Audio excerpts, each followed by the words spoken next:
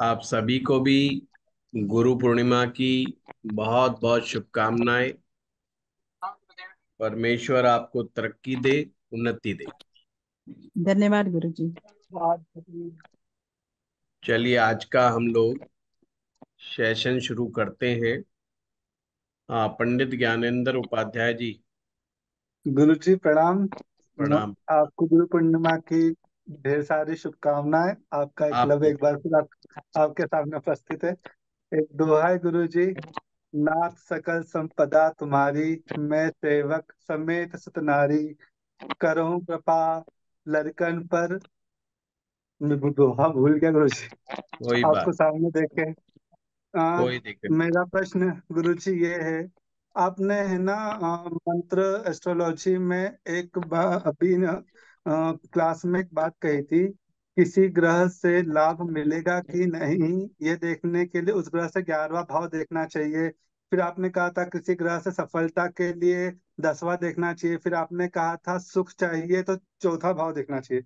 मेरा प्रश्न सिर्फ़ इतना सा है, लाभ, सफलता और सुख इसमें गुरुजी अ, मतलब इसको कैसे हम अलग अलग देख रहे हैं? मतलब मेरे को इसमें आपका आपका पर्सपेक्टिव जानना है कि आप मतलब इसे कैसे मैं कैसे इसे समझूं ज्योतिष के माध्यम से? देखो ज्ञानेंद्र हमारे ज्योतिष शास्त्र की खूबसूरती है कि वो सामने वाले के व्यक्तित्व के अनुसार, उसे अपने दृष्टिकोण के अनुसार चीज़ों को देखने का और समझने का पूरी स्वतंत्रता है। जहाँ तक प्रश्न है, उस सूत्र का तो वो सूत्र ये है, अक्सर जब भी हम कोई मंत्र जीवन में प्राप्त करते हैं या अपनी मनमर्जी से उसका जब आरंभ कर देते हैं तो विद्यार्थी के मन में एक शंका ज़ाहिर होती ही होती है। क्यूरियोसिटी भी आप कह सकते हो। कि इस मंत्र जप करने से मुझे क्या लाभ? तो सबसे पहले तो ये देखना चाहिए कि वो मंत्र जप है क्या? क्या वो गुरु के द्वारा दिया गया प्रदत्त मंत्र है? या अपनी ही मर्ज़ी से चुना हुआ कोई मंत्र है? वो सूत्र उन चीज़ों पे लागू होगा जो अपनी मर्ज़ी से चुने हुए मंत्र हैं, ना कि गुरु मंत्र में। गुरु मंत्र जो होता है, एक प्रकार से मुक्ति मंत्र होता है। मुक्ति का तात्पर्य ही ये है कि अब हमें इस आवागमन से मुक्त होना है। और जब तक हमारा जीवन है हमें अपने जीवन को श्रेष्ठ तरीके से जीना है। गुरु मंत्र ना धन देने की बाध्यता रखता है, ना आपको सफलता देने की बात करता है, ना सुख देने की बात करता है, वो इन सब चीज़ों के लिए है ही नहीं। गुरु मंत्र आपकी चेतना शक्ति का विकास करता है, आपकी आत्मा का विकास करता है। आपको कर्म का ज्ञान का विकास करता है। इस संसार में रह करके सेवा भाव करते हुए अपने कर्म को श्रेष्ठ कैसे बनाए, इस बात का ख्याल गुरु मंत्र रखता है। साथ में ज्ञान प्राप्त होगा, तभी तो हम कुछ जीवन में अपना पाएँगे। क्या अच्छा है, क्या बुरा है?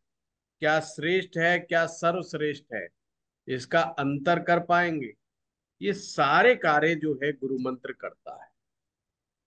पर जब बात आती है हमें स्वार्थ पूर्ति हेतु, कि हमें रहना तो इस दुनिया में ही है और दोबारा भी इसी दुनिया में आना है, पर जो अभी का कष्ट है उसको मिटाना है। तो करोड़ों मंत्र हमारे शास्त्र में दिए हुए ऋग्वेद, जो हमारे चार वेदों में से एक वेद है, एक प्रकार से समझो मंत्रों से भरा हुआ है। हमारे कई शास्त्र ऐसे हैं, जिनका हर श्लोक अपने आप में मंत्र है। चाहे वो रामायण हो, चाहे वो गीता हो, चाहे वो दुर्गा सप्तती हो, उसका हर श्लोक अपने आप में मंत्र है। पर जब बात आती है स्वार्थ पूर्ति की, अपने हित की, तब ये सूत्र काम करता है कि जो हम मंत्र जाप कर रहे हैं, वो मंत्र जाप हमें क्या रिज़ल्ट दे सकता है? अगर हम उस मंत्र से, यानी कि मंत्र की राशि, जब मैं मंत्र की बात करूँ तो मंत्र विज्ञान में वो मंत्र की राशि है। वहाँ से आपकी जन्म पत्रिका में देखना है कि वो राशि कौन से हाउस में है। और उससे चार घर आगे हमें गिनना है। सपोज़ करो कि व्यक्ति मेष लगन का है और मेष लगन में की ही जो मंत्र है, उसका जो राशि है वो मान लो कर्क है। कर्क राशि का मंत्र है, अब वो हमें सुख देगा या नहीं देगा? वो कुंडली का उस राशि से चौथा भाव हमें बताएगा। अब जब चतुर्थ भाव से हम चौथे तक आएँगे तो सप्तम आ जाता है। यानी कि सप्तम भाव डिसाइड कर रहा है यहाँ पर कि ये मंत्र से सुख प्राप्त होगा कि नहीं होगा। पर उससे पहले डेफिनेशन को समझना होगा, ये सुख किस चीज़ का नाम है। अगर वो व्यक्ति सोचता है कि हर तरह का धन धान्य, हर तरह की सुख सुविधा, हर तरह का लग्जरी ये सब चीज़ें मुझे चाहिए, मुझे प्राप्त हो जाए और जीवन में कभी कष्ट ना आए। तो वो मति ब्रह्म का शिकार है। क्योंकि हमें जीवन को समझना पड़ेगा। जब हम इस संसार में आए हैं तो हम अपने पीछे कर्म और संस्कार दो चीज़ें लेकर के आए। उन कर्म और संस्कारों से मुक्ति सहज नहीं होती। और जो भी जीवन का कष्ट है, वो हमारे ही द्वारा किए गए कर्म है। जो भी उसका सुख है इस जन्म का, वो पूर्व जन्म में किए गए उसके पुण्य है। इतना सा ही सिद्धांत, अगर वो समझ जाए तो उसे सुख और दुख को समझ में आएगा। पूर्व जन्म के दुख जो कि प्रारब्ध में लिखे हुए, उनको कोई नहीं टाल सकता। अगर वह उस उपदेश्य के लिए गुरु मंत्र या अन्य मंत्र या कोई भी मंत्र करता है तो उसको अपने उपदेश्य को बदल देना चाहिए। क्योंकि वो इस उपदेशों की पूर्ति ही नहीं करता। जीवन है तो कष्ट है, दुख है, परेशानी है, रोग है, शत्रु हैं, ये सब आएँगे। इनको रोका नहीं जा सकता। तो कभी भी इस ब्रह्म जाल में ना रहे। मैं दुनिया का कोई भी उपाय कर चाहे वो लाल किताब हो चाहे वो काली किताब हो, चाहे वो पीली किताब हो, या कोई और किताब आ जाए, या वैदिक ज्योतिष हो, कोई भी किसी के माध्यम से, वो उसे आने से नहीं रोक सकते। उसको भुगतान करना ही पड़ेगा। पर उस भुगतान को करते समय उसकी मनोदशा कैसी रहे, इसमें मंत्र सहायक होता है। आपको रोग आएगा, दशाओं ने डिसाइड कर लिया, रोग आएगा। अब मंत्र जब क्या लाभ देगा? क्या जाप करते ही रोग गायब हो जाएगा? मति भ्रम है। मति भ्रम है। ऐसा नहीं होगा। उस रोग से लड़ने की क्षमता विकसित होने लगेगी उसका दृष्टिकोण बदलने लगेगा, ये मंत्र का उद्देश्य है। आज गुरु पूर्णिमा का अवसर है, अर्थात सत्य का अवसर है। शिष्य इस दिन अपने आप को समर्पित कर देता है। किस चीज़ के लिए? शिष्य बनने के लिए। शिष्य बनने के लिए अपने आप को समर्पित कर देता है और ये सहज स्वीकार करता है कि मैं मन, वचन और कर्म से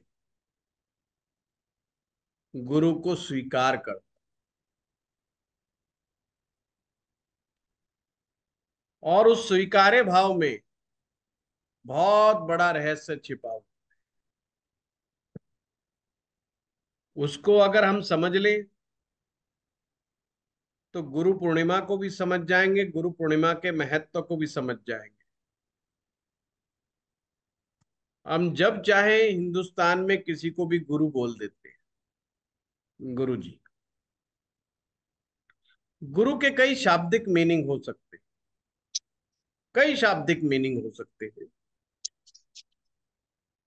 वो शाब्दिक मीनिंग की भी समझ रखनी चाहिए।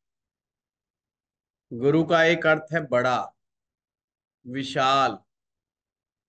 हमसे जो ज़्यादा ज्ञानी है, हमसे जो ज़्यादा अनुभवी है, और जो हमें अपने अनुभव को दे रहा है, वो भी गुरु है। फिर आते हैं दीक्षा गुरु। दीक्षा गुरु यानी टोटल समर्पण। टोटल सरेंडर गुरु का वाक्य ही गुरु मंत्र है। गुरु मंत्र का जाप तो केवल शिष्य को रेडी करने की एक कला है। कि इसके अंदर चेतना का विकास आरंभ हो, ये मंत्र अंदर जाकर के स्पंदन पैदा कर दे। और जिससे वो इस सोचने पर मजबूर हो जाए कि मेरे जीवन का उद्देश्य क्या है। मेरे जीवन का उद्देश्य क्या है? अगर उसे जीवन का उद्देश्य समझ में आ जाता है तो गुरु की प्राप्ति प्राप्ति बन जाती है। अन्यथा कंठी धारण करने से, माला धारण करने से, तिलक धारण करने से, छापा धारण करने से, गुरु का नाम धारण करने से कुछ भी नहीं होता। अपितु हम एक दोबारा कर्मा में फंस जाते गुरु दीक्षा, गुरु मंत्र फिर से कहूँगा, कोई धन प्राप्ति का मंत्र नहीं है। दृष्टिकोण का चक्कर है। अगर दृष्टिकोण अच्छा है तो ये अपार धन प्राप्ति का मंत्र है। अपार का मतलब जिसकी का कोई पार ही ना हो, जिसकी कोई सीमा ही ना हो, इतना धन। अब जो लोग धन को ज्ञान समझते हैं और ज्ञान को धन समझते हैं, वो इस चीज़ को समझ पाते कि धन क्या है, जीवन का असली धन क्या है। अगर वो इस समझ जाएँ तो निश्चित रूप से गुरु मंत्र अपार धन देने वाला है।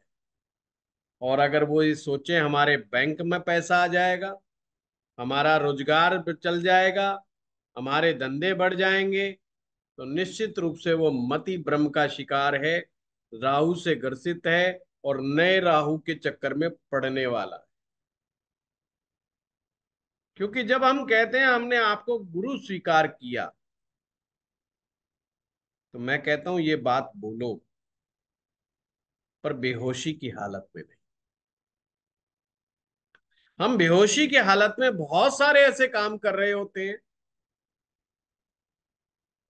जो हमें पता ही नहीं होते हम क्या कर रहे हैं। होश पूर्वक तुम जो भी काम करोगे, तुम्हें उसका जीवन में कभी मलाल नहीं कई रिग्रेट्स कभी लाइफ में ही नहीं होगा, ये हमेशा ध्यान रख। जब तुम बेहोशी की हालत में कोई भी स्टेप उठाओगे तो वो मलाल ही देगा। मेरे पास इतने वर्षों से ज्योतिष सीखने वाले विद्यार्थी आ रहे हैं।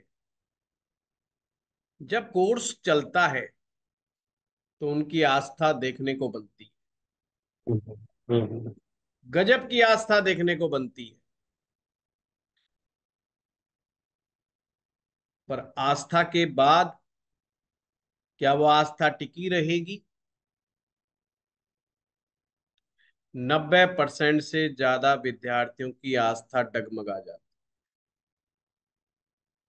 बस उसी को मैं अपनी क्लास में कहता हूँ, केवल दस परसेंट लोग मेरी क्लास में ज्योतिषी बन पाते हैं। आप कहेंगे, जो नब्बे परसेंट का क्या होता है, वो ज्योतिषी नहीं बन पाते? मैं कहूँगा हाँ वो भी बन पाते नब्बे के नब्बे परसेंट बन जाते हैं। पर वो वो ज्योतिषी बनते हैं, जो ज्योतिष का काम तो करते हैं, पर उन्हें ये नहीं पता होता ज्योतिष है क्या। केवल दस परसेंट होते हैं जो ज्योतिषी बनते हैं, और जो ज्योतिषी बनता है, ये ध्यान रखिएगा, उसके जीवन में परिवर्तन आता है। उसका खुद का जीवन बदल जाता है, दृष्टिकोण बदल जाता है अगर जीवन में रूपांतरण नहीं हुआ, जीवन में दृष्टिकोण नहीं बदला तो निश्चित रूप से वो ज्योतिषी बना ही नहीं। कुछ नहीं रखा टेक्निक्स में, कुछ भी नहीं रखा टेक्निक्स के अंदर। आप केपी सीखो जैमनी सीखो, लाल किताब सीखो, काली किताब सीखो, पीली किताब सीखो, वैदिक सीखो, जो मर्ज़ी सीखो, न्यूमरोलॉजी सीखो, वास्तु सीखो, पामिस्ट्री सीखो, जो मर्ज़ी डिग्रियाँ लगाए जाओ। उसका मूल्य ज़ीरो। हम वो ही काम करने जा रहे हैं कि अपने घर में कूड़ा पड़ा हुआ है और मोहल्ले की फिक्रमंद है। सुबह से लेकर शाम तक हाय राम क्या करें? मोहल्ले में कूड़ा बहुत है। इसको कैसे साफ़ करें? और फिर कसम खाते हैं मोहल्ले के सामने, इस मोहल्ले का कूड़ा मैं अपने गली में रहने नहीं। और निश्चित रूप से आप लग भी जाते कोई नहीं साथ देता तो आप खुद झाड़ू लेके शुरू कर देते। पर कभी ध्यान आपका अपने घर की तरफ़ नहीं जाता। इस संसार में वो ही मिलेगा जो आप सोचोगे। इस संसार में वो ही मिलेगा जो आप करोगे। इस संसार में वही व्यवहार मिलेगा जो आपको दूसरे के प्रति आपने जो व्यवहार किया है, ये संसार गोल गोल है। ये संसार गोल गोल है। मैं अक्सर मज़ाक में एक बात कहता हूँ। अच्छी पत्नी दुनिया के हर कोने में मिल जाती तो आप कहेंगे, फिर समस्या क्या है? बस समस्या ये है कि दुनिया गोल है। और इस दुनिया में कोई कोना नहीं। अब बात को समझ में आए तो बात तो फिर वहीं ज़ीरो पे आ गए हम। ये बात भी हो गई कि दुनिया गोल है। जब दुनिया गोल है तो हमारे कर्म भी गोल है। घूम घूम के हमारे पास ही आएँगे। जिन महिलाओं ने अपनी सास की सेवा नहीं करी, सास बनने पर वो कैसे उम्मीद करेंगी कि अच्छी बहू प्राप्त हो जाए? कर्म तो किया ही नहीं ना। फिर कैसे उम्मीद मैं उन लोगों को बड़ा बेहोशी वाला आदमी कहता हूँ, जो अपने कर्म पर ध्यान नहीं देते, जो अपने घर में सफ़ाई नहीं करते, जो अपने घर में झाड़ू नहीं लगाते, जो मोहल्ले की गंदगी को बाहर निकलने चले जाते हैं, ये ही बेहोश लोग हैं, जिन्हें अपने घर की गंदगी नहीं दिखाई देती, बाहर सब कुछ गंदा नज़र आता यानी कि हम अपने कर्म को ही नहीं पहचान पाते। हमने किया है तो भुगतने के लिए भी तैयार रहो। क्यों? बाबाओं के पास, मौलवियों के पास, पंडितों के पास, पुरोहितों के पास तीर्थों में चक्कर लगा रहे हो। क्यों फिर मूर्तियों के चक्कर लगा रहे हो? कुछ नहीं होने वाला। कुछ भी नहीं होने वाला। कोई सूत्र जीवन में काम ही नहीं करता। काम तो देंगे हमारे कर्म। और गुरु शिष्य का ये जो दिवस है, ये हमारे एक प्रकार का वचन है कि हम अपने कर्मों को सुधारने की आज से हम तैयारी करें। हम तैयार हैं आपके मार्गदर्शन में कि जैसा आप मार्ग दिखा रहे हो उस मार्ग पे चलने का भरसक प्रयास करें। अब ये तो कह दिया, जब गुरु दीक्षा होती है तो एक पूजन होता है, देव पूजन। संस्कार होता है, जनेऊ संस्कार। गुरु मंत्र देता है प्रिकॉशंस देता है। लेते समय चार बार सोच लो। पूछ लो कि गुरुजी कहीं फंसा तो नहीं दोगे? गुरुजी ने कहा, मांस नहीं खाना। तो जीवन भर नहीं खाना। मांस छोड़ने को तैयार हो तो उस गुरु का, उस गुरु को गुरु बनाओ। पूछ लो गुरु जी क्या शर्त होगी? गुरु ने कहा, होश में रहना ठीक है। कहता है, मैं तो हमेशा ही होश में रहता हूँ। बेहोश तो मैं आज तक हुआ ही नहीं।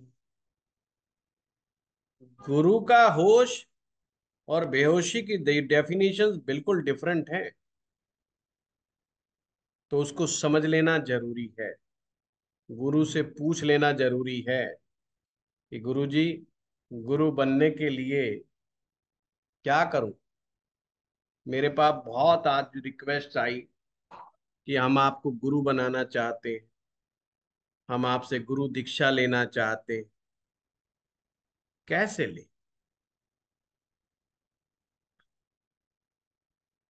उसकी प्रक्रियाओं में घुसने की आवश्यकता नहीं है। स्वीकार करोगे तो अभी गुरु हो जाऊँगा। नहीं स्वीकार करोगे तो तीन साल बाद भी नहीं रहूँगा। ये अशिष्य के ऊपर है कि वो क्या स्वीकार करता है। गुरुजी गलत मिल गए तो भी तुम्हारा ही कसूर है।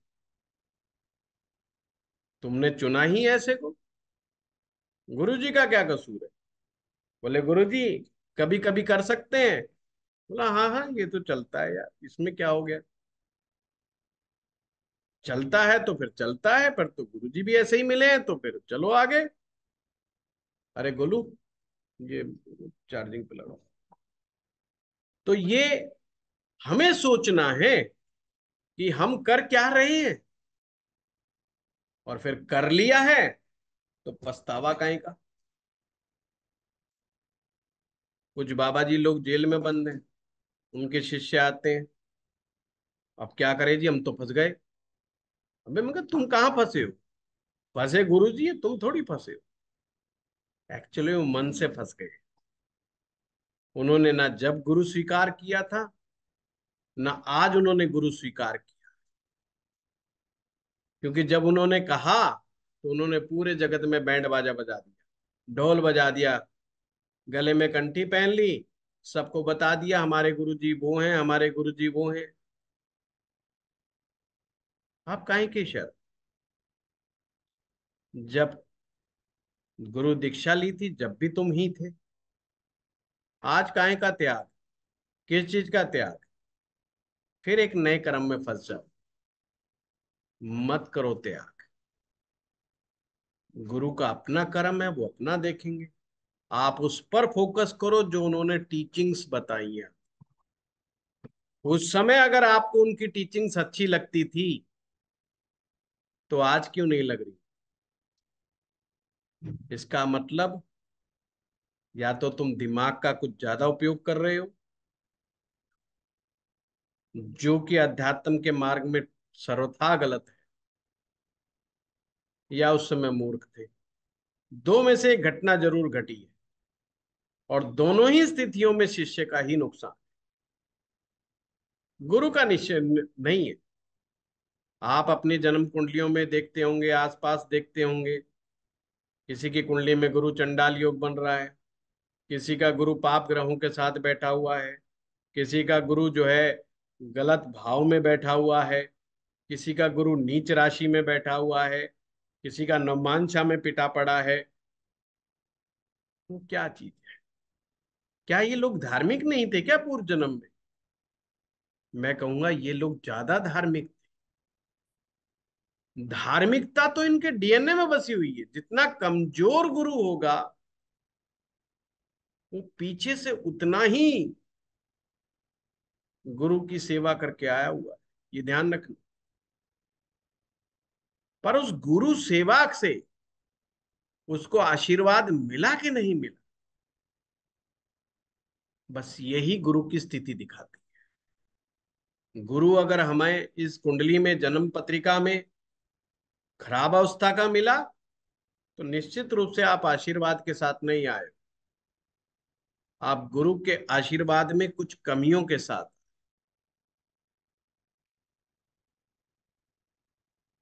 तो लोग पूछते हैं, आप इस जन्म में क्या करें? फंस गए हम तो। बस दोबारा ही नहीं फंसना। यही चिंतन करना कि अब दोबारा नहीं फंसना। जो करना है, होश में करना बेहोशी की हालत में नहीं। गुरु बनाया था सबके सामने, या एकांत में। कोई मायने नहीं रखता। बनाया था तो बनाया था। फिर समाज से नहीं डरना। परिवार से नहीं डरना, इस संसार से नहीं डरना। फिर क्यों छिपते फिरते मैं बहुत ऐसे स्टूडेंट को भी जानता हूँ, जो कहते हैं, गुरुजी, बहुत अच्छा पढ़ाते हम भी ज्योतिषाचार्य और अपना सेंटर खोले हुए आपको गुरु भी मानते पर आपकी क्लास में तस्वीर नहीं दिखाएँगे। लोग जान जाएँगे। अरे, ये तो वशिष्ठ साहब से पढ़े हुए। मैं क्या कहूँ? हर समय तो किसी को ज्ञान नहीं दिया जा सकता, और ज्ञान तो वैसे ही बड़ा कीमती। ज्ञान सिर्फ़ शिष्य को ही दिया जाता जो शिष्य नहीं है, उनको ज्ञान दिया भी नहीं जा सकता। और मैं कहता हूँ, देना भी नहीं चाहिए। क्यों? तो देने से लाभ ही क्या होगा? उसने उसका दुरुपयोग करना है। वो अर्थोपार्जन के लिए, वो धन अर्जित करने के लिए गुरु कह रहा है आप। यू आर माई गुरु लगाव मत रखो ज़्यादा। शिष्यों से लगाव नहीं रख। ये मैं अपने टीचर्स को बोलता गुरु, वहम में मत आ जाना कि पचास लोग हैं, पचास के पचास आपको गुरुजी कह रहे हैं, पचास के पचास आपको ग्रेट गुरुजी कह रहे हैं। भूल जाओ, ये कक्षा तक ही है। बस पाँच में से, पचास में से पाँच छाट लो। वही पाँच साल बाद भी मिलेंगे आप। वही हाथ जोड़े हुए ग्रेटिट्यूड के भाव में कि गुरुजी आप ही थे जिन्होंने जीवन बदला हमारा। वो नहीं कहेंगे कि हमें कितने सूत्र समझ में आए, कितने नहीं समझ में आए। वो बात ही नहीं करेंगे कि क्या हुआ और क्या नहीं हुआ। वो बात ही नहीं करेंगे कि हम ज्योतिषी बन पाए कि नहीं बन पाए। वो बात ही नहीं करेंगे कि आज वो कितना कमाते हैं। बस वो एक ही बात कहेंगे गुरु पूर्णिमा का अवसर है। हमारा वो भाग्य था जो आपको गुरु रूप में स्वीकार किया था, उसके लिए ग्रेटिट्यूड देते हैं आप। तो ये मतलब नहीं है कि मैं अंगूठा लगाऊँगा आपके माथे पे जब भी गुरु दीक्षा होगी। स्पर्श करूँगा तो गुरु दीक्षा होगी। तो मैं उन सभी स्टूडेंट्स के लिए कहता हूँ वो चक्कर में ना पड़ो। पहले सोच लो, होश में आ जाओ, चेतना शक्ति को जगाओ, फिर बात कर। बात करोगे निश्चित रूप से। अगर मुझे गुरु रूप में स्वीकार करोगे तो मैं निश्चित रूप से आपके हृदय को नहीं दिखाऊँगा, मैं बनने के लिए तैयार हूँ। मैक्सिमम लोगों को मैं मना कर देता उनकी प्रवृत्तियों को देख करके। उनको लगता रहे गुरु जी, क्या कह रहे नहीं भाई, वो चीज़ ही नहीं। उन्हें मालूम ही नहीं। वो तो बेचारे इस चक्कर में है कि मैं बार बार कह देता हूँ, गुरु ज़रूर बनाना चाहिए जीवन में। उनको लगता है गुरु नहीं बनाया तो ज्योतिषी भी नहीं बन पाएँगे। गुरु नहीं बन पाया, बना पाए तो हमें तरक्की भी नहीं मिलेगी। गुरु नहीं बना पाए तो हमें पैसा नहीं मिलेगा। वो इस चक्कर में गुरु बना। भाई, ना मुझे बनाओ, ना इस संसार में किसी अन्य व्यक्ति को बनाओ। चक्रों में ही मत पड़ो। चाहे देवी देवताओं को गुरु बना लो, हनुमान जी को गुरु बना लो, भगवान शिव को गुरु बना लो। अब जी गुरु, मुझसे किसी ने पूछा कल पर्सन मैसेज पे कि भगवान शिव को गुरु कैसे बने? बहुत आसान है। शिव सूत्र लो, पढ़ो पढ़ लो पहले शिव सूत्र फंस मत जाना किसी के बेकाई में। अब भीड़ जा रही है कुएँ में गिरने के लिए। बोला, अपन तो रह गए। कल को अपने को कुआँ नहीं मिला तो फिर क्या करेंगे? उस चक्कर में मत पड़ो। भीड़ के पीछे मत दौड़ो। कि भीड़ कुएँ में जा रही है, तुम भी जा रहे हो। किसी ने कह दिया रे हम किसी गुरु गुरु के चक्कर में नहीं पड़ते। हम तो भगवान शिव को ही गुरु मानते। बहुत अच्छी बात है। भगवान शिव गुरु ही है, पर शिव सूत्र तो पढ़ लो। शिव सूत्र कहते क्या है उनको तो समझ लो, क्योंकि गुरु अपनाने का मतलब क्या है? गुरु अपनाने का मतलब है कि मैं आपकी शिक्षाओं को हृदय से स्वीकार करता और आपको ये नहीं पता कि शिक्षाएँ क्या हैं। भोलेनाथ बैठे बस, नागों की माला डाल करके। उनका स्वरूप ही तुम्हें गुरु नज़र आ रहा है। उनका स्वरूप गुरु नहीं है। उनकी शिक्षाएँ तुम्हारा गुरु होंगी।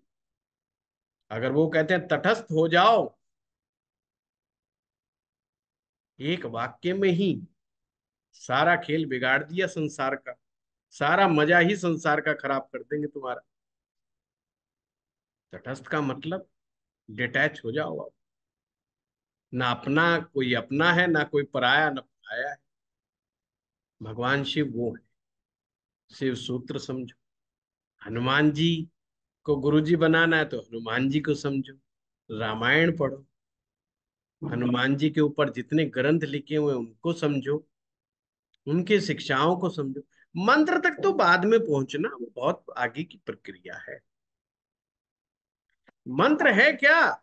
मंत्र तो जैसे आप अपने कमरे में पोचा लगा करके तैयार कर देते हो कि यहाँ से हम पूजा आरंभ करेंगे, इसलिए थोड़ा अपनी माताओं, बहनों को कह देते ना, भाई, ये कमरा साफ़ कर दो, आज यहाँ पर पूजा होगी हवन होगा।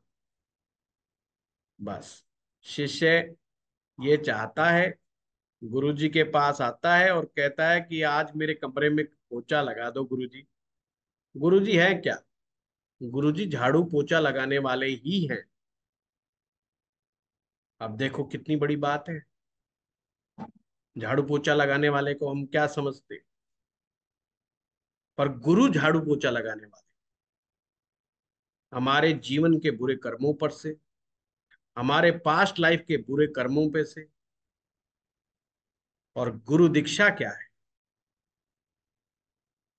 उस पोचे से लगा दिया शिष्य को कहा कि बेटा पोचा लगा दिया है, कमरा साफ़ कर दिया है। अब तेरी ड्यूटी है दो। दो ड्यूटी है तेरी। दोबारा इसमें गंदगी मत आने दे। और आज के बाद से पोचा तेरे को नित्य कमरे में तुझे ही लगा मैंने तुझे सिखा दिया पोचा लग कैसे लगाया जाता अब आगे से तुझे लगाना है और नित्य लगाना है। अब तेरे ऊपर इच्छा है कि तू दिन में एक बार पोचा लगाता है, कि दिन में दो बार लगाता है, कि तीन बार लगाता है, या हर पल लगाता है। इसको गंदा ही नहीं होने देता। बस कर्म सिद्धांत को समझना ही गुरु उपदेश, गुरु दीक्षा का उद्देश्य होता है। अगर कर्म सिद्धांत नहीं समझा तो कोई लाभ नहीं। पढ़े जाओ मंत्रमाला मंत्रमाला मंत्रमाला सिवाय खोपड़ी खराब करने के, समय खराब करने के ग्रस्त जीवन खराब करने के और अपनी जिम्मेवारियों से भागने के अलावा कुछ भी और दूसरा काम कर ही नहीं रहे। इसका मतलब ही क्या है अच्छे कर्म का? अच्छे कर्म का मतलब मात्र इतना है कि हमें अपने रोल को समझना है जीवन में। आपकी कुंडली क्या है? कुंडली वो है जो आपको बताती है जीवन में आपका रोल क्या मिला है आप। और डायरेक्टर है भगवान। उन्होंने लिख के भेजा है कि, बेटा, तेरे को संसार में जाने के बाद ये नाटक करना है, ये रोल करना है। एक ज्योतिषी के पास जब भी जाओ तो ये समझने जाओ कि मेरा नाटक क्या है। भाई, तेरा नाटक ये है कि तू हीरो तो है, पर हीरोइन तुझे छोड़ के भाग जाएगी। अब तेरा नाटक ये है कि तेरी हीरोइन छोड़ के भाग जाएगी। जब तू बूढ़ा हो जाएगा, बच्चे भी तेरा साथ नहीं देंगे। तेरा रोल है, और दिन रात तू कमाई करेगा उन बच्चों के लिए, उस बीवी के लिए तो सब छोड़ के भाग जाएगा। ये तेरा रोल है। दूसरे आदमी को रोल दे दिया, अरे, तेरे को पत्नी बहुत अच्छी मिलेगी, तेरे को औलाद बहुत अच्छी मिलेगी, अब तेरे को अच्छे का रोल करना है। अभी अच्छे को कितने अच्छे से तरीके से करना है, वो आपने देखना है। जो इस संसार में नाटक बहुत अच्छे से तरीके से करता है ना, निभाता है, वह वही अपने कर्मों को साफ़ कर पाता है। अगर तुम्हें जिम्मेवारी मिली है गृहस्थ जीवन की तो निश्चित रूप से इस नाटक को जितने अच्छे तरीके से निभाओगे, तुम्हारा कर्म ठीक हो जाएगा। पत्नी है तो पत्नी का ध्यान रखो, पूरा ख्याल रखो, तुम्हें ये नाटक मिला है। पत्नी कितना भी गुस्सा करे, कितना गुर्राए, कितना तुमको पीड़ा पहुँचाए, तुमने नाटक में पार्टिसिपेट किया ना, अब वैसा ही निभाना है। दुखी पति होना लिखा है तो दुखी पति का रोल निभाओ। कि दुखी पति कैसा होता है?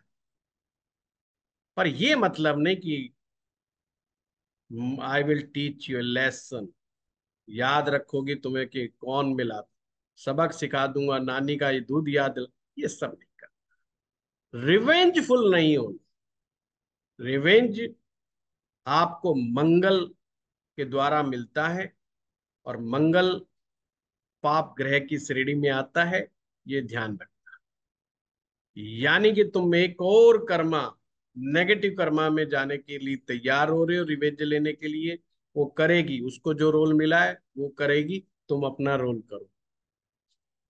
पिता का रोल मिला है तो पिता का रोल बहुत अच्छे से निभाओ।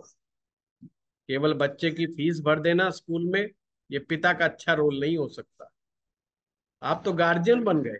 अंग्रेज़ी में बोलते ना गार्जियन बस गार्जियन वही है कि जो पैसा दे दे, वही गार्जियन जो पैसे के साथ शिक्षा दे, आपको एक अच्छा इंसान बनाए, समाज को वो दे के जाए,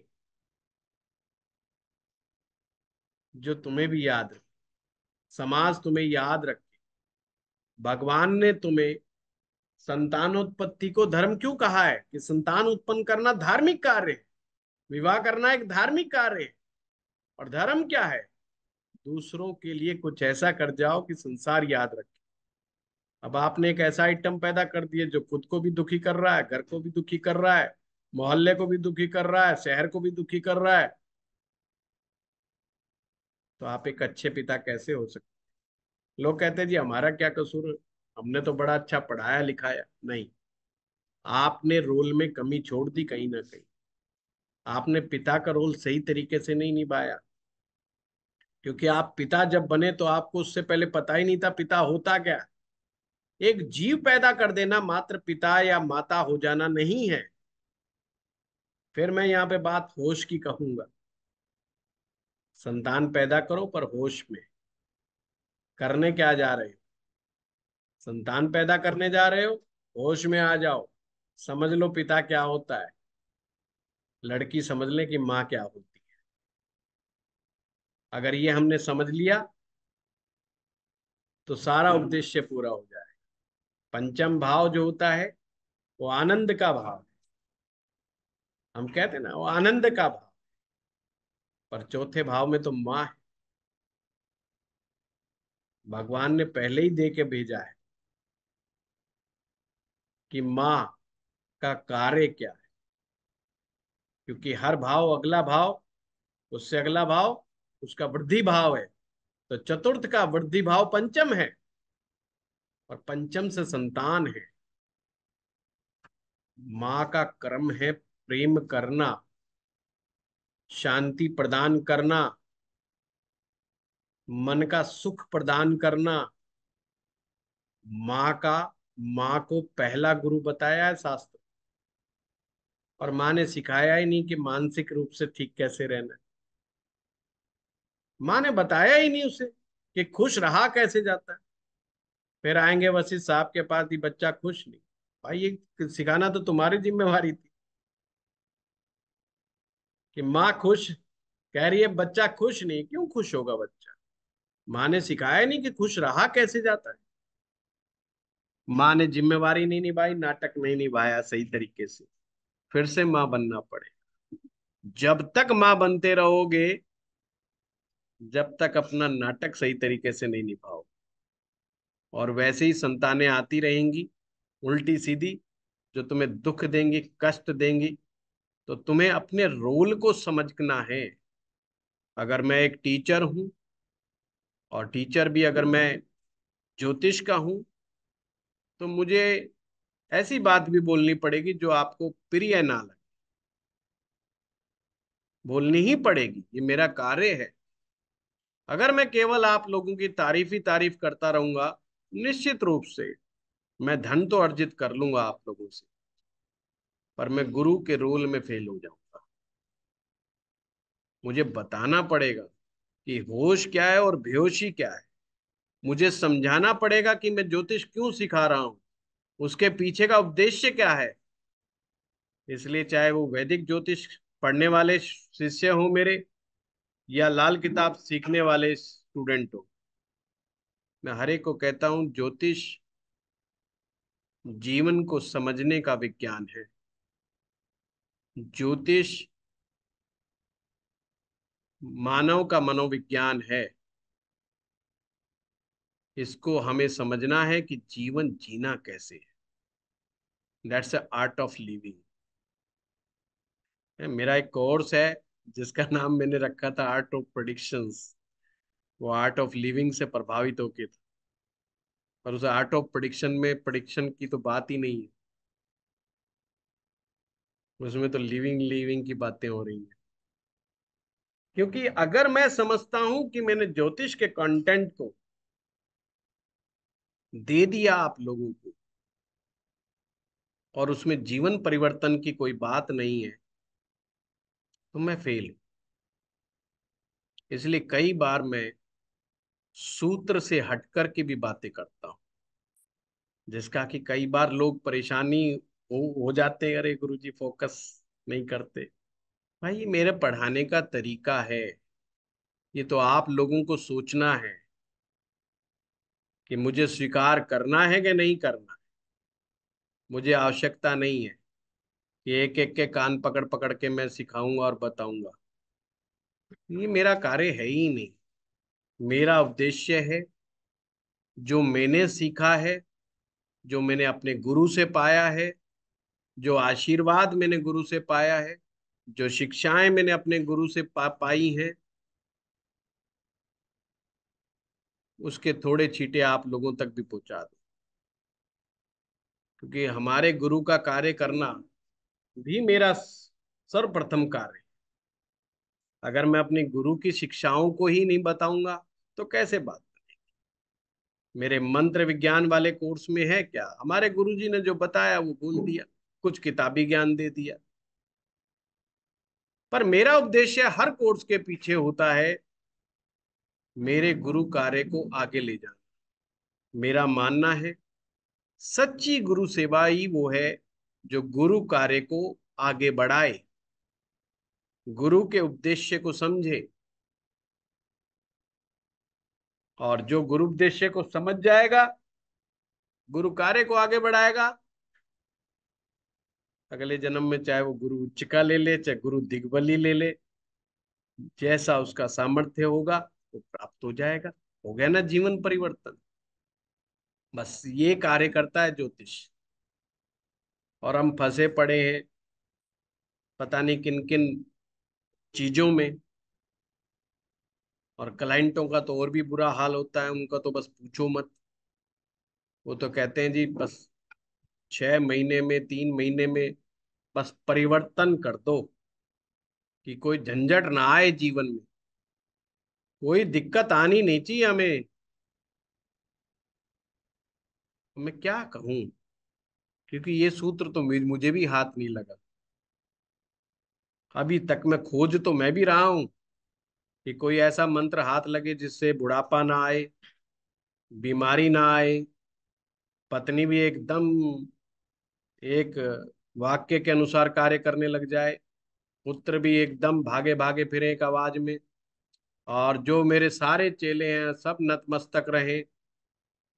अभी तक मंत्र मिला नहीं। जिस दिन मिलेगा ज़रूर दूँगा। पर जितने भी ज्ञान की गहराई में जाता हूँ, साधना की गहराई में जाता हूँ, निकल के वही आ जाता है कि बाबूजी, ऐसा मंत्र है नहीं जिसकी तलाश आप कर रहे हो। टाइम खराब मत करो अपना। जितना है उतना ही बांट दो, उतना ही लौटा दो। तो संसार आपको इसीलिए याद करेगा कि आपने सत्य को जितना समझ पाए थोड़ा बहुत उस सच्चाई से बता दिया। अगर सूत्र में दम नहीं तो खुल के कह दिया, भाई, मुझे समझ में नहीं आया। हो सकता है सूत्र में दम हो ज़्यादा। जो तरीका मुझे पसंद नहीं आया, नहीं बता। जो तरीका पसंद आ गया, वो बता दिया। चाहे कोई कितना भी क्रिटिसाइज करे, कितना भी ना करे, क्योंकि गुरु को क्रिटिसिज्म से भी डरने की आवश्यकता नहीं होती। अगर गुरु क्रिटिसिज्म से डरेगा तो कैसे पार पड़ेगी? अगर मैं अपने आप को सच्चा टीचर मानूं या मानने के लिए कहूँ आप लोगों से तो मुझे भी अपने अंदर बड़ा भारी परिवर्तन करना चाहिए और करता रहना चाहिए कि मैं अपने स्टूडेंट्स को जो मुझे माने उनके लिए भी और जो मुझे गुरु ना माने उनके लिए भी, दोनों के लिए मुझे एक ही बात कहनी हो। अलग अलग सूत्र नहीं समझाने। सबके सामने कह दो, जो सूत्र है तो मैं अपने टीचिंग के रोल को सही ढंग से निभा पाऊँगा। आज के गुरु पूर्णिमा के दिवस को मैं सही मायने में मना पाऊँगा। मैं आप लोगों से आऊँ और कह दूँ, ये मंत्र ले लो और जो मेरे से दीक्षा प्राप्त कर लेंगे, वो तो अजर अमर हो जाएँगे। ये सब बकवास बातें सच्चा गुरु यही बताता है, अजरता, अमरता, इन चक्रों में मत पड़ो। जीवन में ये जो जीव आया है, ये जाएगा जीव अच्छा व्यक्ति इसकी तैयारी करके रखता है। बेहोश आदमी बेहोशी की हालत में चल देता है, विदा कर देता है। अच्छा टाटा, बाय बाय, चलते हैं दुआओं में याद रखना। अब अच्छे अच्छे पुत्र संतान पैदा की होगी, अच्छे संतान पैदा की होगी तो दुआओं में बहुत याद करते हैं। और वो भी नकारे और निकम्मे पैदा करके गए हो तो निश्चित रूप से। वो कहेंगे बाबूजी अब गुजर ली अब इनकी तो तस्वीर भी हटा दो। कपड़े गंगा जी में फेंकाओ। इनकी तो कोई यादाश्त भी नहीं होनी चाहिए। है ना? तो वो फिर आपके ऊपर है कि आप क्या करके ज्योतिष भी आपको यही समझाता है कि तैयारी आपको तैयार रखनी चाहिए। हर साल गुरु पूर्णिमा आती है। गुरु पूर्णिमा भी यही कहती है, तैयार हो जाओ। गुरु पूर्णिमा तैयारी का दिवस है। क्या हम तैयार हैं? अगर आप तैयार हैं मन से तो निश्चित रूप से गुरु केवल मन से कह देने से भी गुरु हो जाता है। जबान से कहने दे, दिन में 108 बार भी आप मुझे गुरु कहोगे अपनी जबान से, उसकी वैल्यू ज़ीरो। और मन से एक बार भी गुरु कह दोगे तो उसकी वैल्यू एक लाख गुना है। तो ये तैयारी का दिवस है। पूर्णिमा का तात्पर्य ये होता है, पूर्णता। पूर्णिमा का मतलब ही है पूर्णता। अर्थात शिष्य पूर्णता को प्राप्त करने के लिए तैयारी करता है आज के दिन। और गुरु जी के पास आके कहता है गुरु जी तैयार करवा उद्देश्य क्या होना चाहिए? जीवन की पूर्णता। कि जब जीवन से विदा ले तो हमारे दिमाग में जब पूरी पिक्चर चलेगी ना तो उस पिक्चर में अपूर्णता नहीं समझ में आनी चाहिए। जीवन पूर्ण नज़र आना चाहिए। जब हम स्वयं से कहें कि परमेश्वर बुला लो हम्म? कभी कभी लोगों को है ना, सपने में भगवान आ जाते हैं? पर ये ध्यान रखा करो कि भगवान ने आपको बुलाया है या आप ने भगवान को बुलाया कंफर्म कर लो कहीं ऐसा नहीं कि आप, आपको ही भगवान ने बुला लिया है?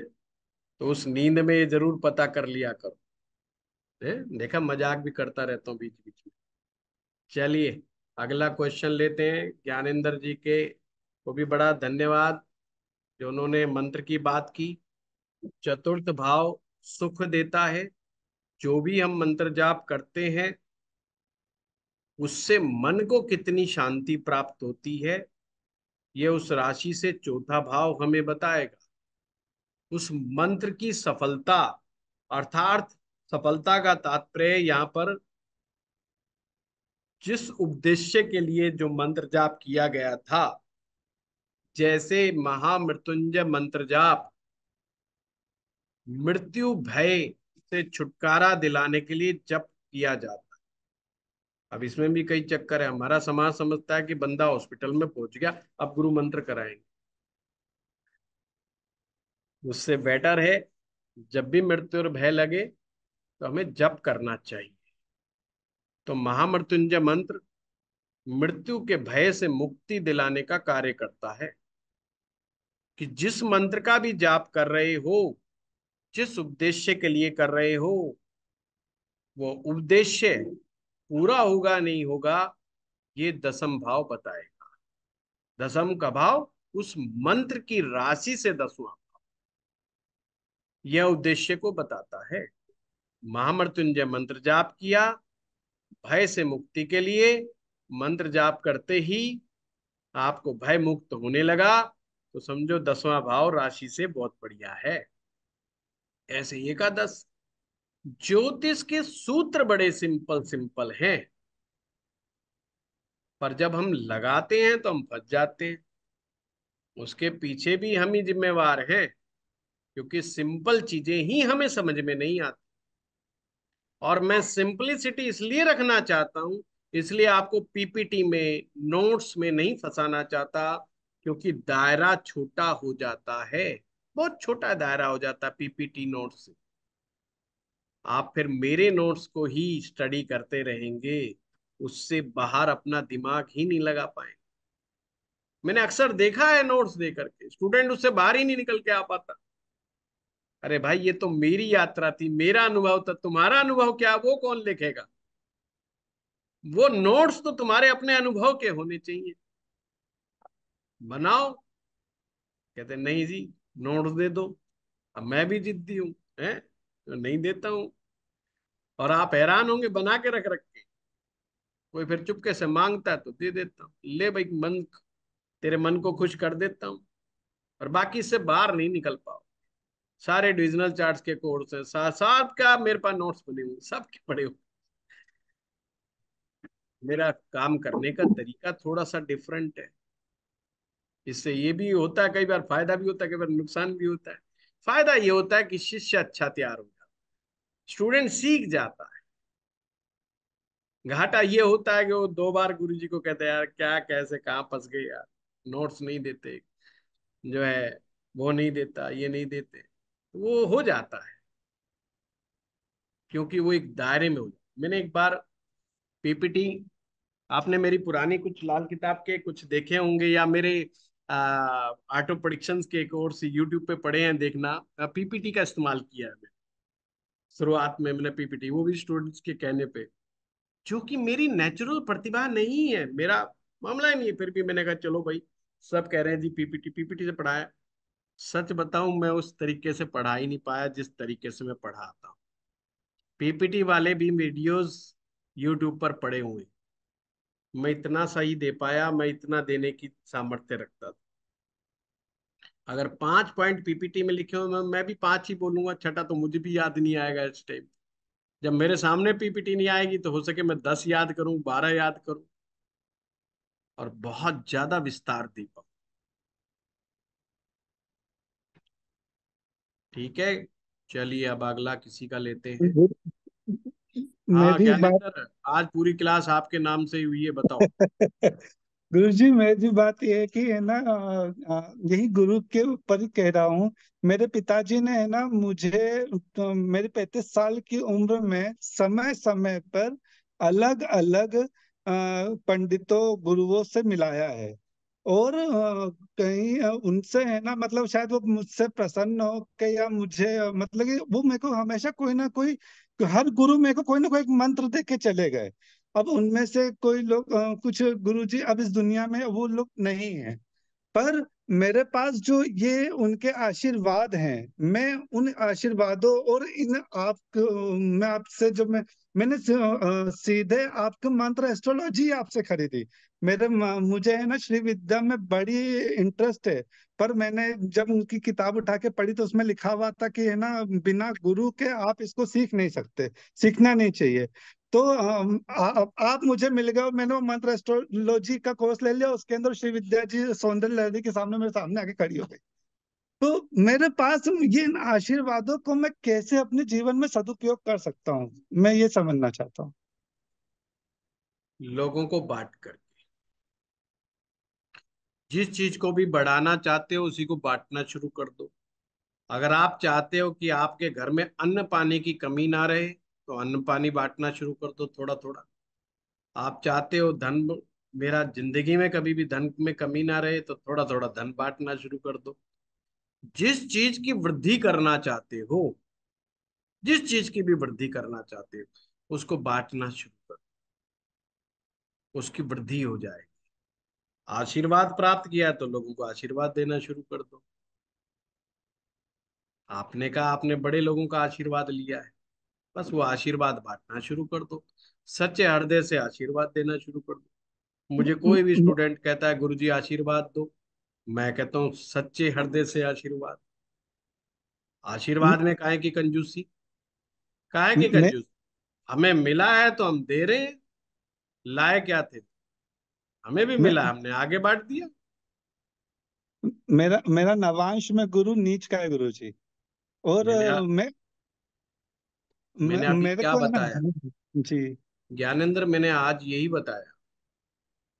मैं वही आप ही की बात में वही मेरे को लगा वही कह रहा हूँ मैं कि ना मैं नवांश में गुरु अपना नीच के लेके आया हूँ उसके बाद भी मेरे को मतलब ये सब लोग धीरे समय समय में मिलते रहे। मेरे को फिर समझ नहीं आता कि गुरु मुझसे नाराज़ हैं। कि मुझसे खुश है। समय समय पर गुरु मिलते रहे। अच्छा होता कि एक गुरु मिल जाता और वहीं पे रुक जाते और पकड़ के बैठ जाते। तो समय समय पे गुरु मिलने की चिंता ही नहीं सताती। गुरु मिले बहुत अच्छी बात है।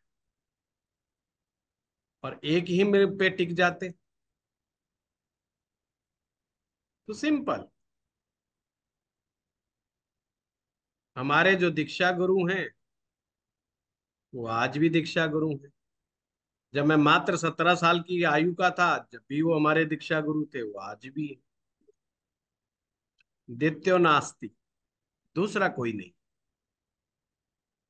दूसरा कोई हो ही भी नहीं सकता। कमज़ोर गुरु गुरु के पास भटकाता है। तरह तरह के गुरुओं का के पास जाने की बात को करता, हमारा मन ही नहीं करता। सभी का सम्मान है, बहुत ज़्यादा सम्मान है, सभी का सम्मान करते हैं। जो भी अच्छी बात बता रहा है, जो अच्छा ज्ञान बता रहा है, जो अच्छा कर्म करने की शिक्षा दे रहा है, मैं उन्हें बहुत सम्मान के दृष्टिकोण से देखता हूँ। पर मेरे गुरु का सम्मान मेरे निगाहों में सर्वोच्च है।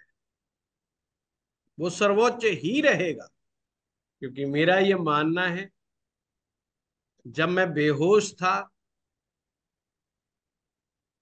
उस हालात में गुरु ने पकड़ा। थोड़ा थोड़ा बीच बीच में जब जब बेहोशी आती है, वो होश में लेके आते। इसलिए वो सर्वोच्च है।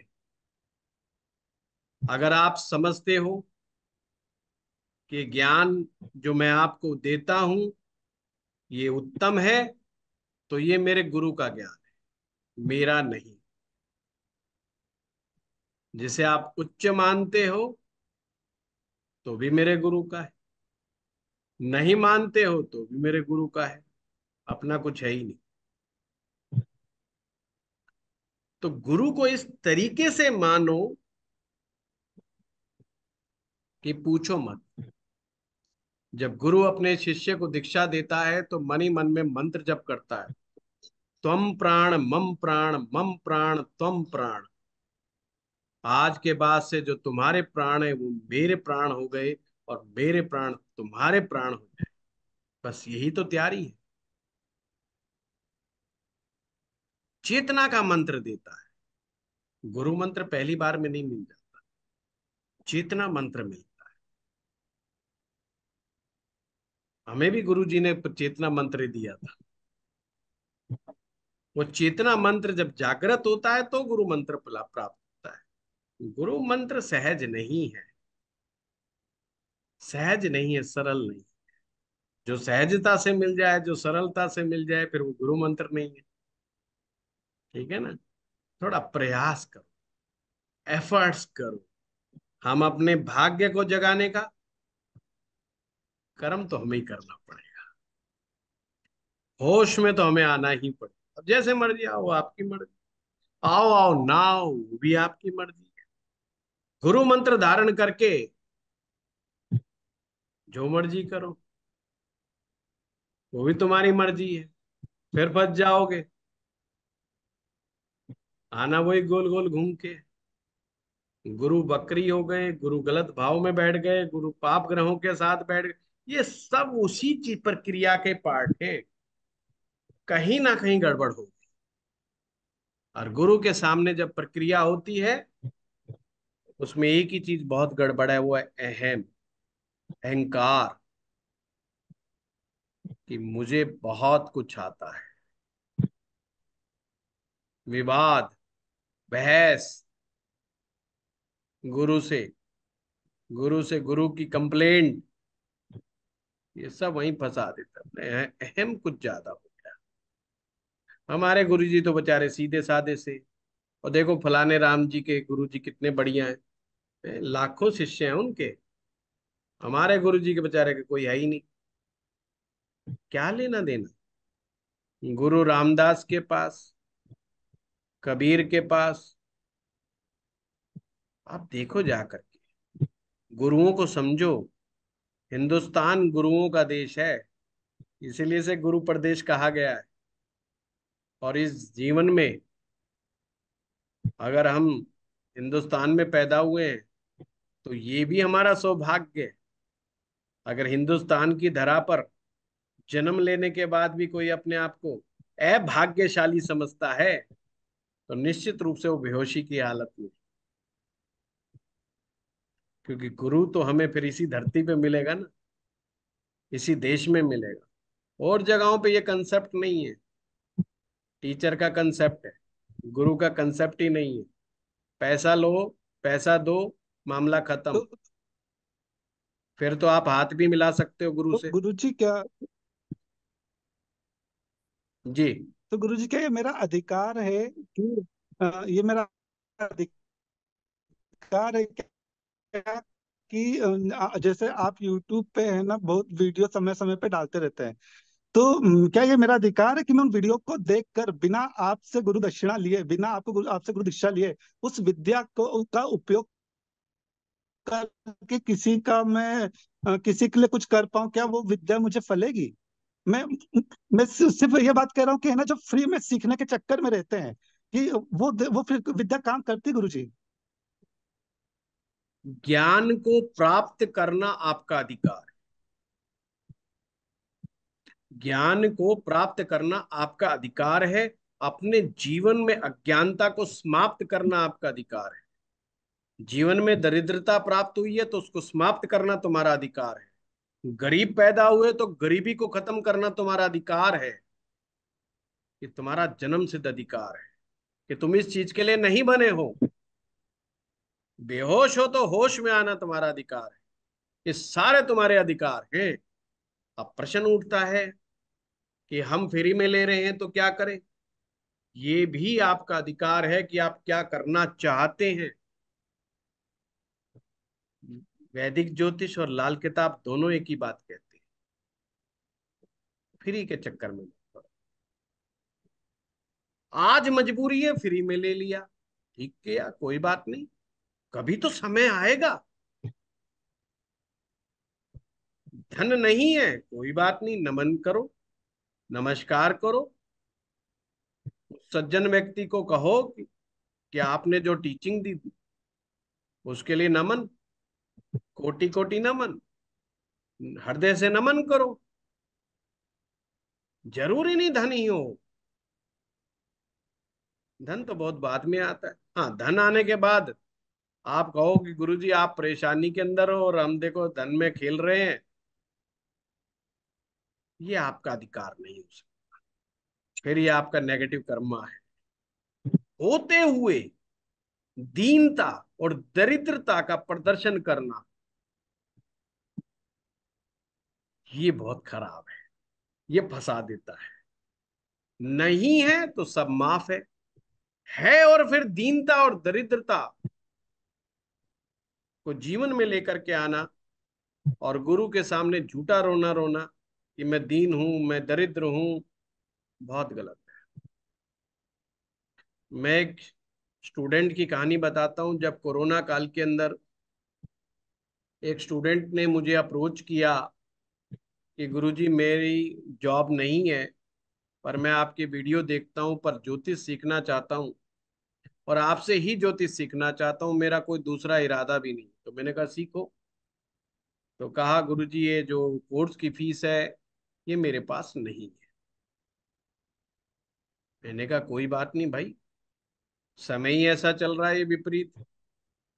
इस समय तू भी डरा हुआ और हम भी डरे हुए। और दो डरपोक आदमी एक दूसरे को सहारा तो दे ही सकते हैं ना। तो चल भाई, अब हम सहारा देते हैं। कि क्या होगा? उस बेचारे को हमने कोर्स करवाए। और कोरोना काल के हमारे पास टाइम ही टाइम था तो दब के कोर्स चलाए। मैक्सिमम कोर्स में वो बच्चा ज्वाइन कर गया। और हमने स्पष्ट रूप से जो लड़की अपने वर्क फ्रॉम होम कर रही थी तो मैंने कहा, मना नहीं करना। इस लड़के के लिए स्पेशल छूट है। इस लड़के को हमने देना है। सवा साल या डेढ़ साल वो लड़का हमारे यहाँ कोर्स करता था। तो मेरे तो जहन में भी खत्म हो गया कि भाई ये पैसे देगा। एक समय आया, उसका फ़ोन आया, पौने दो साल। कहता है, गुरुजी, मैंने फ़ीस आपकी देनी है। मैंने कहा, पहले तो ये बता, तेरी जॉब लगी नहीं लगी? बोला, गुरुजी, छह महीने हो गए, मुझे जॉब लग गई है। अब मैं चुकाना चाह रहा हूँ और उस लड़के ने इतना अच्छा हिसाब बना रखा अपना। एक रुपए का डिस्काउंट नहीं, मैं इतना सरप्राइज़ था। उस लड़के ने अकाउंट डिटेल लिया और सारा पैसा रिटर्न किया। मैंने उसको जबकि मना करता रहा कि भाई कमी है, कमज़ोरी है, अभी रहने दे। जब मुझे इतना याद नहीं रहा तो तू क्यों इतने चक्रों में पड़ रहा है? और कम कम करके दे दे तो किस्तों में दे दे। मैं हर तरह की छूट दी। लड़का नहीं माना। पूरी पेमेंट दी, फिर गुड़गांव में आया मेरे से मिलने के। मैंने कहा, यार, ये देखो कमाल की बात। सही मायने में तो ये समझ में आया इसको। जिसको मैं सोच के बैठा हूँ, ये बेचारा कहाँ से दे उसने भी दी। ऐसे लोग जीवन में राइज करते ही करते हैं, चाहे उनके भाग्य में कुछ लिखा हो, क्योंकि मैं कर्म के सिद्धांत को समझने लगा। अमीर अमीर लोग रोना शुरू कर देते हैं, दीनता दिखाते हैं, दरिद्रता दिखाते हैं। हमें कोई फ़र्क नहीं पड़ता। जहाँ पचास बैठे हैं वहाँ इक्यावनवा सही, जहाँ इक्यावन बैठे हैं वहाँ चौवनवा सही, जहाँ चौवन बैठे हो पचपनवा सही, मुझे क्या फ़र्क पड़ेगा? मेरे को तो पचास दे रहे हैं ना, बाकी दस भी बैठे हैं तो मुझे क्या फ़र्क पड़ गया बताओ? मुझे फ़र्क नहीं पड़ेगा। पर उनकी दीनता से, उनकी दरिद्रता के प्रदर्शन से फ़र्क उन्हें ही पड़ने वाला तो ज्ञानेन्द्र ये स्टूडेंट को समझना है या ज्ञान लेने वाले को समझना है कि मुझे नमन उस व्यक्ति को कैसे करना है? जेब में है तो पहुँचा दो, नहीं है तो ग्रेटिट्यूड तो ज़रूर पहुँचा दो। मैं अक्सर कहता हूँ, पंचम भाव से ग्रेटिट्यूड देखा जाता है। जिसमें ग्रेटिट्यूड की भावना नहीं, वो धन की बात ही छोड़ दे। होश में आ जाएगा, इस जीवन में छोड़ दे, भूल जाए। बेहोशी की हालत में ही रहेगा। जिसे मैं होश कहता हूँ, ये होश ही पंचम भाव है। और जितनी आप इस दीनता और दरिद्रता से जल्दी चले जाएँ, मुक्त पालें, उतना ही जल्दी आगे बढ़ जाए। सिंपल। चलिए, आज एक क्वेश्चन और लेते हैं, फिर मेरे पास लोग आए हुए हैं हमारे भी कुछ विद्यार्थी आए हुए हैं तो प्रणाम प्रणाम। हाँ हरीश ने फ़ोन उठाया था। हाँ बताएँ हरीश।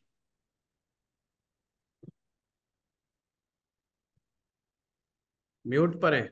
गुरुजी थैंक यू सो मच आपने आज मंत्र शक्ति और चेतना शक्ति के थ्रू जो जो मेरी कंफ्यूजन थी जो वेस्टर्न फिलोसफी सिखाती आ रही है काफ़ी टाइम से कि भाई, आप कोई भी वर्ड्स रिपीट करते हो तो ज़रूरी नहीं है कि you you get the same success but अगर उस मंत्र शक्ति में अगर आपकी कॉन्शियसनेस अगर बहुत क्लीन हो जाए और बिलीव हो जाए then then I think you can change the word so very very thank you so much आपने बहुत अच्छा एक्सप्लेनेशन दिया, मेरी क्लैरिटी मिल गई। इनफैक्ट साइंटिफिक रिसर्च भी ढूंढ रहा था उसी के बेसिस पर और मिल भी गई वही चीज़ें। Thank you Baljinder ji. जी नमस्कार गुरु जी नमस्कार। आपसे जो ज्ञान प्राप्त हो रहा है वो अपार है गुरु जी तो आपको बहुत बहुत नमन है। तो मेरा एक क्वेश्चन था कि जो शनि और केतु का जो जड़ योग बनता है वो सप्तम में जो होगा तो उसका क्या प्रभाव पड़ेगा? सिंपल है दोनों ही ग्रह सेपरेटिव नेचर के हैं। बार बार जीवन में दुख कष्ट दाम्पत्य जीवन में बड़ी परीक्षाएँ होंगी और तो क्या है। वैराग्य भाव जागृत होगा डिटैचमेंट आएँगी दुख आएँगे कष्ट आएँगे ये सब समस्या होने के चांसेस हैं। अब उसके ऊपर भी डिपेंड करता है कि हम अपने रोल को निभाते कहते हैं इन सब चीज़ों के बावजूद। जो सही से निभा लेगा ठीक है, जो नहीं निभाएगा, ये फिर शनि नहीं तो कोई और ग्रह आके बैठ जाएगा सप्तम में अगली बार। सप्तम से अगर सही तरीके से निजात पानी है है ना तो हमारे यहाँ पे कंसेप्ट सात जन्मों का है। इस जन्म का नहीं है। तो एक ही जन्म में प्यार कर लो जितना करना है। है ना? अगर मुक्ति चाहते हो तो। अधूरा छोड़ दोगे तो फिर वही मिल जाएगा। तो ध्यान से दाम्पत्य जैसे शनि का और केतु का दोनों का अपने इनका उपाव करना पड़ेगा। उपाव तो बिल्कुल करना पड़ेगा। शनि का भी देखना पड़ेगा और केतु का भी देखना पड़ेगा निश्चित रूप से करना पड़ेगा। ठीक है? चलिए। रेणु दुबे जी। प्रणाम गुरु जी प्रणाम। गुरु जी आपने स्वर्ण के बारे में बताया था पंचम भाव से बनता है तो जिस उसमें अगर मंगल और राहु बैठा है तो आपने बताया सा, शादी में दिक्कत होती है तो जैसे शादी होने में भी दिक्कत होती है गुरु जी बिल्कुल होती है। लेट हो हो गई है लड़की की कुंडली में जैसे तो फिर उसमें राहु का उपाय कराना पड़ेगा। बिल्कुल सबसे पहले तो ये कि भाई क्रोध ना करे जिद ना करे इसका उपाय करो। क्रोध और जिद ये बहुत ही गड़बड़ चीज़ें होती हैं। क्रोध और जिद जो है हमारे भाग्य को डेंट मारती है तो वो सब चीज़ें नहीं करनी चाहिए। हाँ हर्षा। प्रणाम गुरु जी प्रणाम। गुरु जी प्रणाम। प्रणाम प्रणाम गुरु जी कोटि कोटि नमन गुरु पूर्णिमा का भी चरण स्पर्श आपको। इतना सारा ज्ञान देने के लिए बहुत बहुत धन्यवाद गुरु जी। गुरु जी। जी एक छोटा सा क्वेश्चन ये अ, जैसे हमारे नाखून होते हैं गुरु जी तो नाखूनों पे कभी कभी ऐसा देखा है मैंने कि धारियाँ बन जाना गहरी गहरी कभी कभी वो काली काली सी भी दिखती है। कभी कभी उस पे व्हाइट कलर के स्पॉट भी आते हैं जैसे अगर कैल्शियम की कमी मानते हैं तो वो तो सब पे हाँ। आते हैं। कभी कभी एक ही नाखून पर आते हैं। बिल्कुल ऐसा नहीं है। नाखूनों के तो अंदर ये हमारे एक चंद्राकार बने होते हैं जो बिल्कुल बॉटम में होते हैं। पामिस्ट्री में जो नाखून में चंद्राकार है जो बॉटम के अंदर वो एक अच्छा चिन्ह है। और जिन लकीरों की आप बात कर रहे हो, जिन निशानियों की आप बात कर रहे हो, ये अच्छी नहीं है। ये अच्छे स्वास्थ्य को प्रदर्शित नहीं करता। खाया पिया ना लगना, डाइजेशन से रिलेटेड समस्याएँ, लीवर से रिलेटेड समस्याएँ, हृदय रोग, कई तरह की समस्याओं को नाखूनों के द्वारा देखा जा सकता है। तो वो कोई भाग्य से रिलेटेड नहीं है, वो हेल्थ के इश्यूज़ हैं। इसका सीधा सीधा मतलब है कि एक नाखून पे आ रहा है, ज़्यादा पे आ रहा है, एक पे आ रहा है तो कम है प्रॉब्लम, ज़्यादा पे आ गया तो ज़्यादा प्रॉब्लम है। हमारे नाखूनों के आकार, हमारे नाखूनों के प्रकार हमारे ब्रेन से रिलेटेड होते हैं। यानी दिखाते हैं हमारे दिमाग में विचार कैसे कैसे चलते हैं। है ना, एक मज़ाक में कहता हूँ, खोपड़ी कैसे काम कर रही है हमारी। है ना? अगर आपके विचार बहुत अच्छे हैं उन्नत हैं सोच अच्छी है तो नाखून हल्के से पिंक के शेड लिए हुए मिलेंगे आपको जो हीमोग्लोबिन को भी प्रदर्शित करते हैं। आयुर्वेद के अंदर जीभ को देख करके नाखून को देख करके हथेली के रंग को देख करके भी बीमारियों को समझा जाता है सिम्टम्स के अलावा। तो ऐसे ही पामिस्ट्री में ये भी एक तरीका होता है बीमारियों को समझने कभी डिटेल पे चर्चा होगी समय लगेगा तो नाखूनों के ऊपर। आप सभी को गुरु पूर्णिमा की विशेष शुभकामना धन्यवाद। गुरु जी आपको भी पूर्णिमा गुरु पूर्णिमा पे बहुत बहुत प्रणाम गुरु जी आपको प्रणाम।